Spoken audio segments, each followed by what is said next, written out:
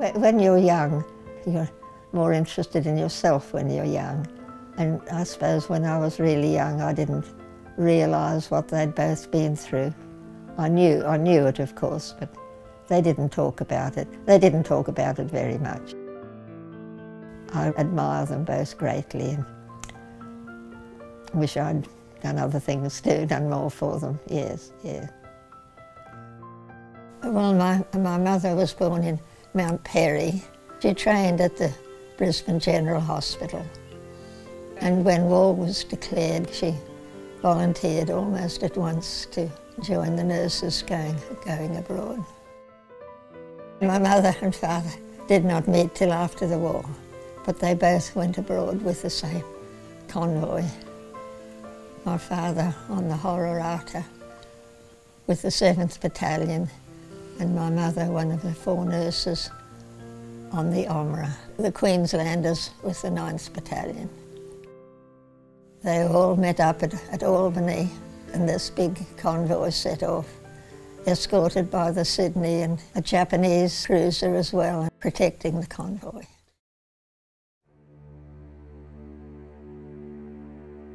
Word came that the, the Emden, that famous ship, was nearby at Cocos Islands. And the Sydney set off immediately to, to take on the Emden. And they engaged that battle there. The, the Emden was outclassed by the, the Sydney and uh, the Emden was very badly damaged. Von Mueller, the captain of the Emden, ran it onto the coral to stop it being taken by the Sydney.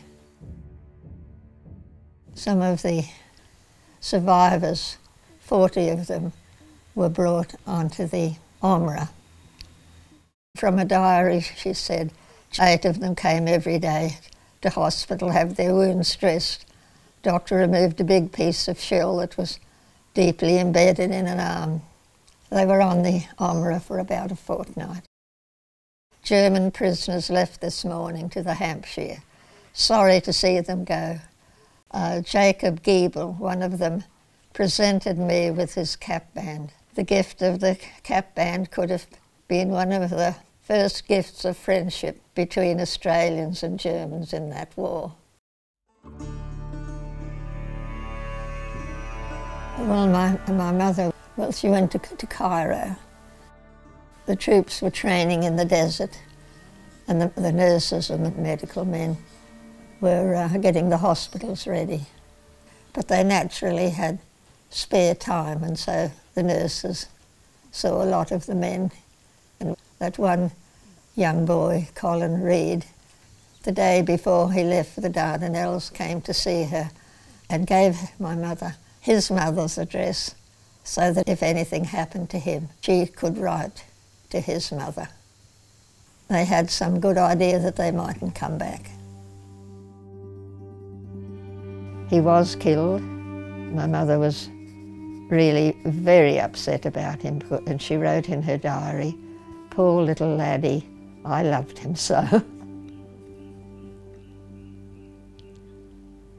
he was only 19, she said about him.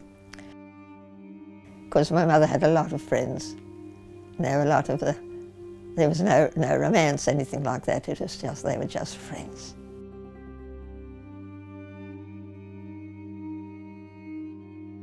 That's on the 25th of April. My father's in the boat. I think what is very sad about it is there are several men you can see slumped over the side. They're, they've already been hit and they look as if they'd, they've been killed. And they haven't even reached the shore. This is from a letter to my mother's family uh, about the Gallipoli landing. I don't know if the news is known in Queensland yet, but the greater part of the men we came over with are either wounded or killed. The whole battalion was practically cut to pieces. We did not get any of the wounded till Thursday, April 29th. This afternoon, two trains arrived with our first wounded, and it's a happening that will be in our memories as long as we do. To see these men walking and wounded coming in in an endless silent procession, just too awful.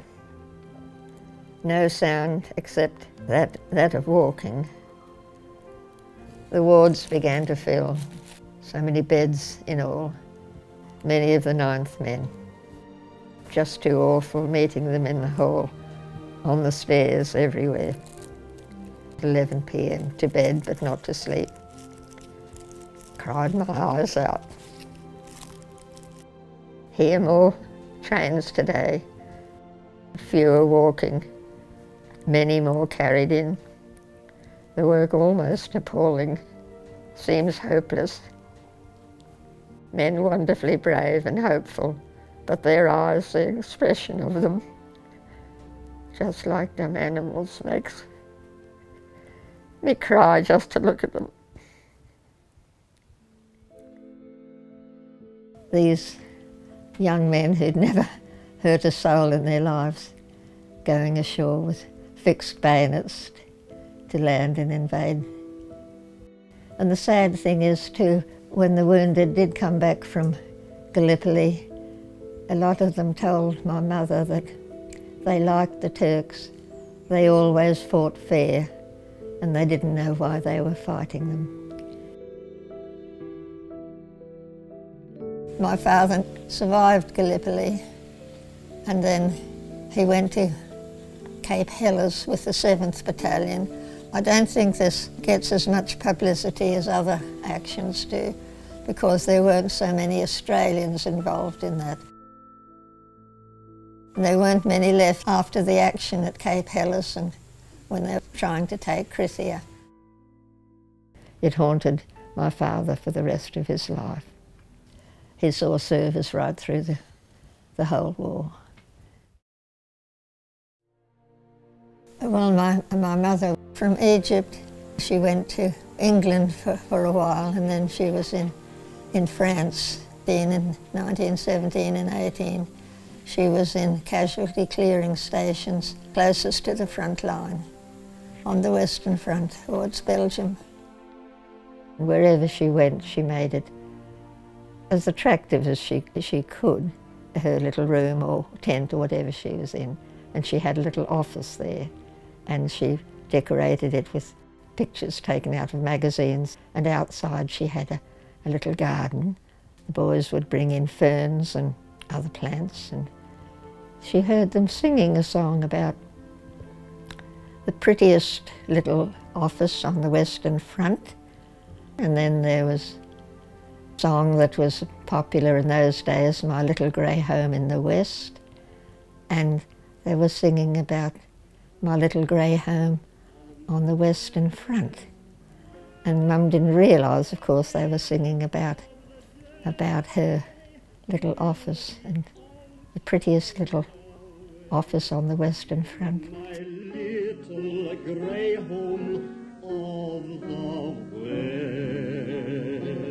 And she stayed for another year after the end of the wars. And they met, I think it was south of Brisbane this convalescent place. And they married, I think, early 1920s, and the first photo I have of, of them is of late 1923 with their first child. Mm. The thing about them was they never complained. They were never bitter about some things, but very sad about some of the things that should never have happened.